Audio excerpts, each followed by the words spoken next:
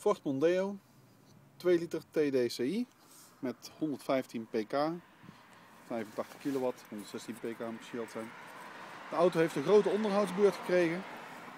Heeft een nieuwe APK bij aflevering.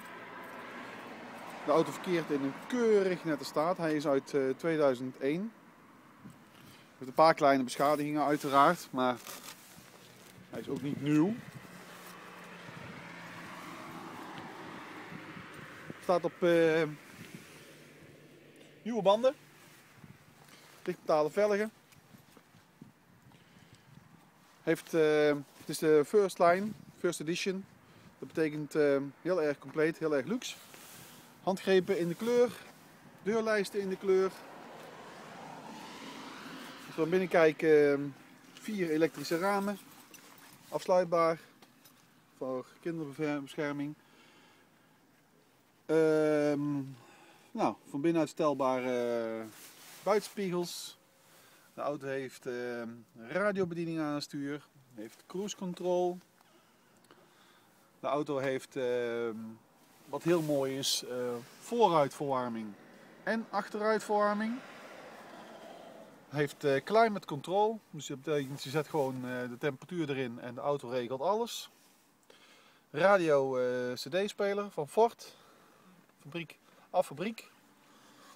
Vijf versnellingen uiteraard. Hele nette bekleding. Um, stoel is een hoogte verstelbaar. Elektrisch. Heeft uh, lendensteunen. Verstelbare steuning. Nou, zoals ik al zei, ziet er gewoon keurig netjes uit.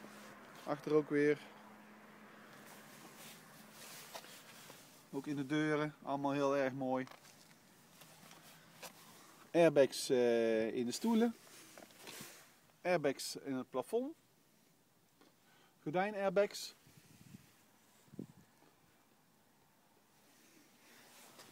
Vijf hoofdsteunen. Dus de middenpassagiersplaats, armleuning dicht. En de hoofdsteuning kan omhoog.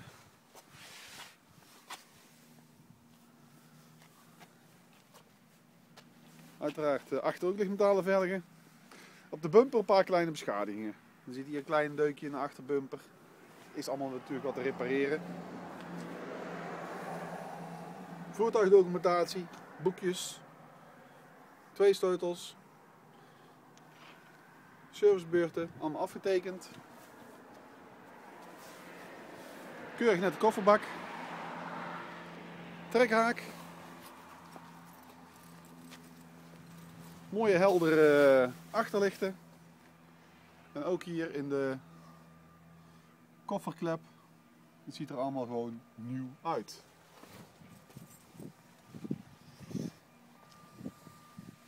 Kleine beschadiging op de bumper. Als je de bumper helemaal zou willen laten spuiten, dan praten we over ongeveer 200 euro. En dan staat hij er weer helemaal spik en span bij.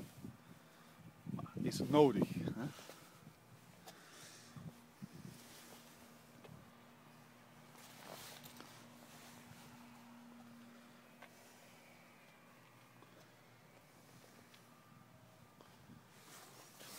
Voertuigdocumentatie. Ook de passagiersstoel heeft uh, verstelbare lendensteun.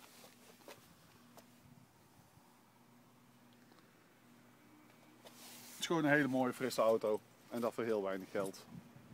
Lopen zuinig. Dus je betaalt iets meer aan motorrijtuigenbelasting. Maar dat verdien je dubbel en dwars terug. Neem je met deze auto met rijden.